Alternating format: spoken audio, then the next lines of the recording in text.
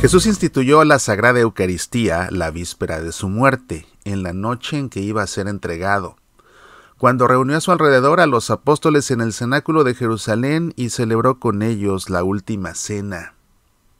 Cuenta San Pablo en el relato más antiguo que existe de la institución de la Eucaristía y que registró la primera vez que escribió a los Corintios, porque yo he recibido una tradición que procede del Señor y que a mi vez os he transmitido que el Señor Jesús, en la noche en que iba a ser entregado, tomó pan, y pronunciando la acción de gracias, lo partió y dijo, Esto es mi cuerpo que se entrega por vosotros. Haced esto en memoria mía. Lo mismo hizo con el cáliz después de cenar, diciendo, Este cáliz es la nueva alianza en mi sangre. Haced esto cada vez que lo bebáis en memoria mía. La celebración de la Eucaristía es el centro de la comunidad cristiana. En ella, la iglesia se convierte en iglesia. No somos iglesia porque colaboremos a su sostenimiento, porque nos llevemos bien unos con otros, o porque casualmente hayamos caído en una comunidad, sino porque en la Eucaristía recibimos el cuerpo de Cristo y continuamente somos transformados en el cuerpo de Cristo. El banquete de Jesús recibe diferentes nombres que señalan su misterio insondable. Santo Sacrificio, Santa Misa, Sacrificio de la Misa, Banquete del Señor, Fracción del Pan, Asamblea Eucarística, Memorial de la Pasión, Muerte y Resurrección, Santa y Divina Liturgia, Santos Misterios y Santa Comunión. Santo Sacrificio, Santa Misa, Sacrificio de la Misa, el único sacrificio de Cristo que completa y supera a todos los sacrificios, se hace presente en la Eucaristía. La Iglesia y los creyentes nos incluimos a nosotros mismos con nuestra entrega en el sacrificio de Cristo. La palabra misa viene de la frase de despedida en latín ite misa est. Vayan, sois enviados. Se le llama banquete del Señor porque cada celebración eucarística es aún hoy el mismo banquete que celebró Jesús con sus discípulos, y al mismo tiempo la anticipación del banquete que el Señor celebrará con los redimidos al final de los tiempos. No somos nosotros los hombres los que hacemos la celebración. Es el Señor quien convoca a ella y está presente en ella de un modo misterioso. Su nombre original era la fracción del pan. La fracción del pan era un antiguo rito del banquete judío, que Jesús utilizó en la última cena para expresar su entrega por nosotros. En la fracción del pan lo reconocieron los discípulos después de la resurrección. La comunidad primitiva llamaba fracción del pan a sus asambleas eucarísticas por esta razón. Se le llama asamblea eucarística porque la celebración del banquete del Señor es también una asamblea de acción de gracias, en la que la Iglesia encuentra su expresión visible es el memorial de la pasión, muerte y resurrección. En la Eucaristía, la comunidad no se celebra a sí misma, sino que descubre y celebra siempre de nuevo la presencia del paso salvador de Cristo a través de la pasión y la muerte hasta la vida. Se le llama Santa y Divina Liturgia y Santos Misterios, porque en la celebración eucarística se unen la Iglesia celeste y terrestre en una única fiesta puesto que los dones eucarísticos en los que Cristo está presente son, por así decir, lo más santo en este mundo, son llamados también Santísimo Sacramento. Y se le llama Santa Comunión, dado que en la Santa Misa nos unimos con Cristo y por Él unos con otros.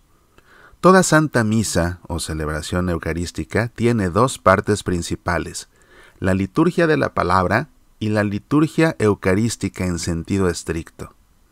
En la liturgia de la palabra escuchamos lecturas del Antiguo y del Nuevo Testamento, así como del Evangelio.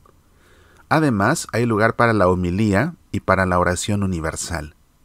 En la liturgia eucarística que sigue, se presentan pan y vino con agua, son consagrados para transformarse en el cuerpo y sangre del Señor y se ofrecen a los fieles para la comunión. La Santa Misa comienza con la congregación de los fieles y la entrada del sacerdote y los servidores del altar, es decir, los acólitos, los lectores, los cantores, los monaguillos. Tras el saludo viene la confesión general de los pecados que desemboca en el Kirie. Los domingos, excepto en los tiempos de Cuaresma y Adviento, y en las fiestas, se canta o se proclama el Gloria. La oración colecta introduce una o dos lecturas del Nuevo o del Antiguo Testamento junto con el Salmo responsorial. Antes del Evangelio es el momento de entonar el Aleluya. Después de la proclamación del Evangelio, el presbítero o el diácono pronuncian la homilía, al menos los domingos y solemnidades. Solo los domingos y solemnidades la comunidad proclama la fe con el credo, al que siguen las preces. La segunda parte de la Santa Misa comienza con la presentación de las ofrendas, que se cierra con la oración sobre las ofrendas. El punto culminante de la celebración eucarística es la plegaria eucarística, introducida por el prefacio y el santo. Luego, en la consagración, se transforman los dones de pan y vino con agua en el cuerpo y la sangre de Cristo.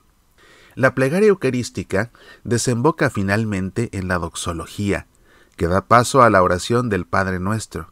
Después viene la oración de la paz, el Agnus Dei, la fracción del pan y el reparto de los dones sagrados a los fieles, por lo general, solo bajo la forma del cuerpo de Cristo, aunque hay países que tienen permiso para distribuir la comunión bajo las dos especies.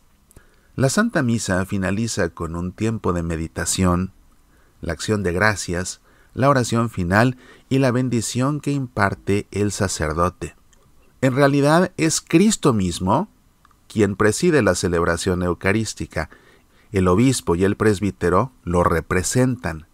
La fe de la Iglesia afirma que el celebrante está ante el altar in persona Christi capitis, en la persona de Cristo cabeza. Esto quiere decir que los sacerdotes no solo actúan en el lugar de Cristo o por su encargo, sino que a causa de su consagración es Cristo quien actúa a través de ellos como cabeza de la Iglesia. Cristo está misteriosa, pero realmente presente en el sacramento de la Eucaristía. Cada vez que la Iglesia realiza el mandato de Jesús, haced esto en conmemoración mía, parte el pan y ofrece el cáliz, sucede hoy lo mismo que sucedió entonces. Cristo se entrega verdaderamente por nosotros y nosotros tomamos realmente parte en Él. El sacrificio único e irrepetible de Cristo en la cruz se hace presente sobre el altar. Se realiza la obra de nuestra redención. Cada vez que la Iglesia celebra la Eucaristía, se sitúa ante la fuente de la que ella misma brota continuamente de nuevo. En la medida que la Iglesia come del cuerpo de Cristo, se convierte en cuerpo de Cristo, que es solo otro nombre de la Iglesia. En el sacrificio de Cristo, que se nos da en cuerpo y alma, hay lugar para toda nuestra vida. Nuestro trabajo y nuestro sufrimiento, nuestras alegrías, todo lo podemos unir al sacrificio de Cristo. Si nos ofrecemos de este modo, seremos transformados agradamos a Dios y para nuestros prójimos somos como buen pan que alimenta. Se critica frecuentemente a la Iglesia como si únicamente fuéramos una asociación de hombres más o menos buenos. En realidad, la Iglesia es lo que se realiza diariamente de un modo misterioso sobre el altar. Dios se entrega por cada uno de nosotros y quiere transformarnos mediante la comunión con Él.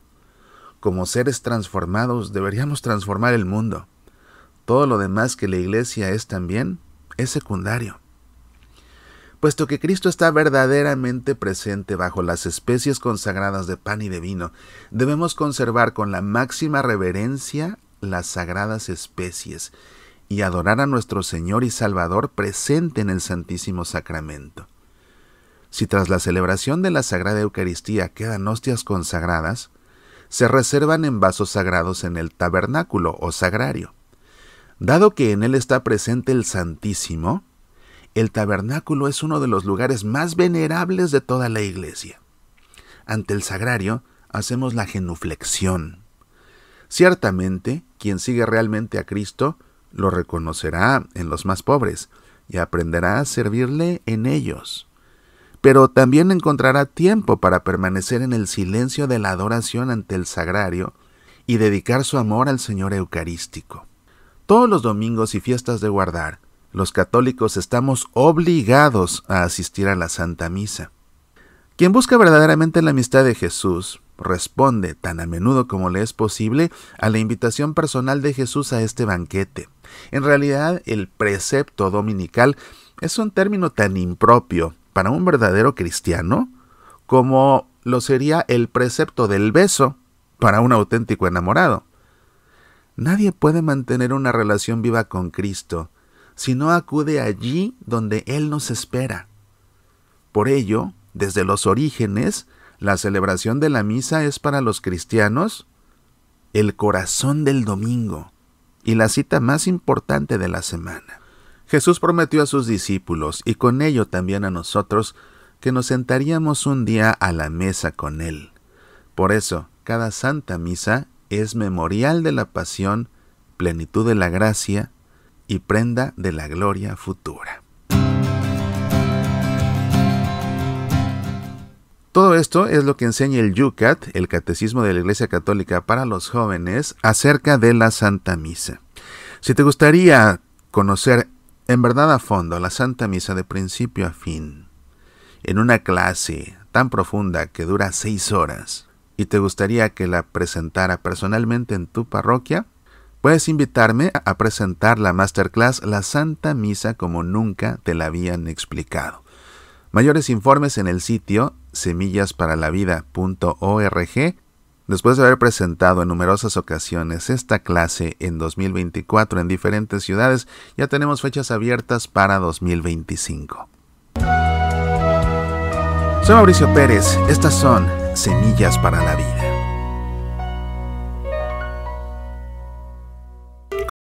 Te saluda Mauricio Pérez. Con gran regocijo te comparto que la parroquia de la Sagrada Familia en Seattle me invita nuevamente, esta vez para presentar mi conferencia Comprendiendo el dogma de la Inmaculada Concepción de María.